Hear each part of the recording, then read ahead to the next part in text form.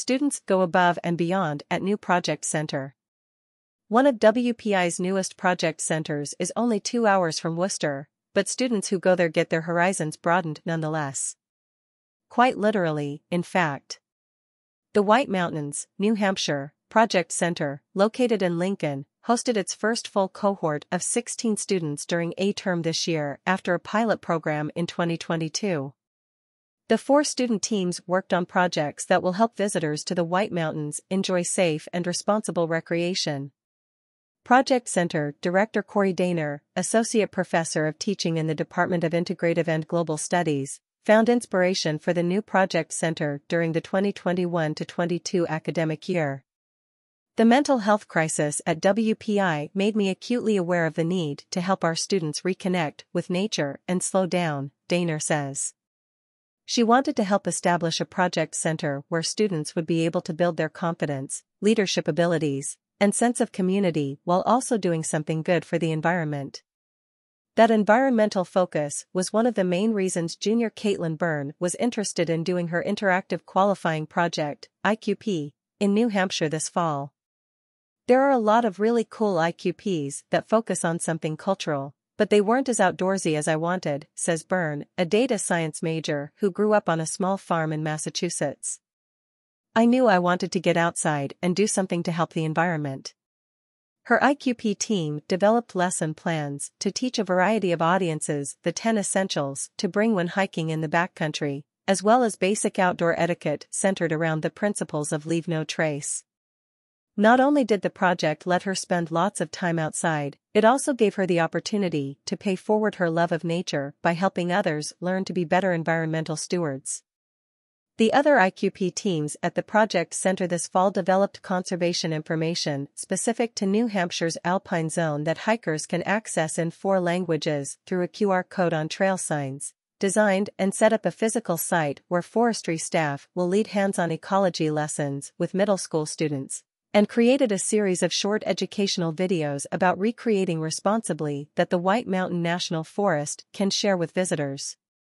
All students at the Project Center also participate in a Wilderness Ethics Certificate program that's made possible through a collaboration between WPI, the World Trails Network, and the Waterman Fund.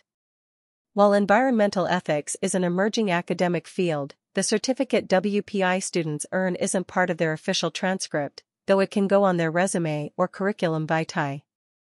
It's less based on professional skills and training someone for a specific career and more focused on helping students understand the externalities of whatever they do.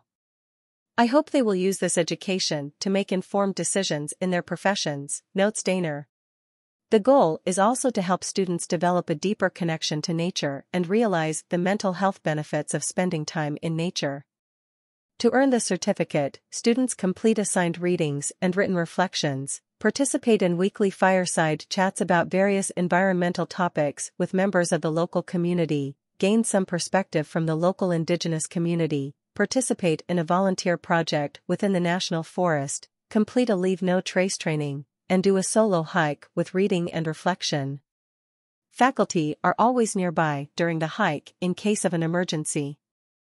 The work for the Wilderness Ethics Certificate is in addition to what students do for their IQPs, but it strengthens the cohort bonds, and members in the first cohort say the requirements are both manageable and enjoyable. Plus, notes junior Danielle Cook, the credential is a nice bonus that shows she did something extra, beyond her regular coursework.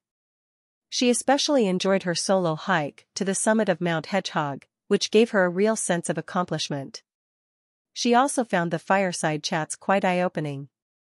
We got to talk with members of the community about some controversial topics related to the environment, and it was interesting to hear the perspectives of people who are from a more rural area than I am, says Cook, who grew up in Rhode Island. Particularly memorable was a fireside chat with the head speakers of the Cowasuck Band of the Pennacook Abenaki people, Denise and Paul Pouliot. They spoke about their culture and beliefs from a scientific perspective, which impressed Cook, a biomedical engineering and professional writing double major. It struck me because they were talking from a very fact-driven place and weren't pushing any religion.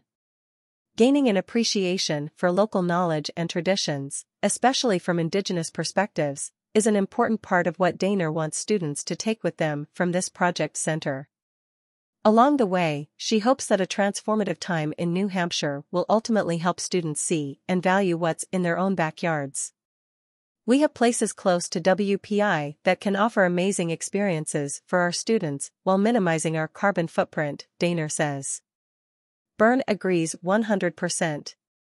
When the Worcester County native told people she was doing her IQP in New Hampshire, she was peppered with questions about why she was staying so close to home. I got that from literally everyone.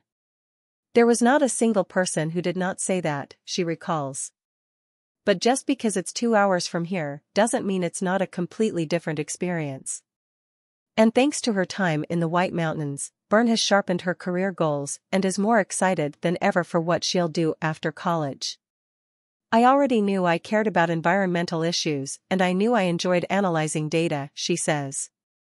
But in New Hampshire I realized I could combine those two passions. Now I see that there are lots of jobs out there that use data management to work for environmental justice.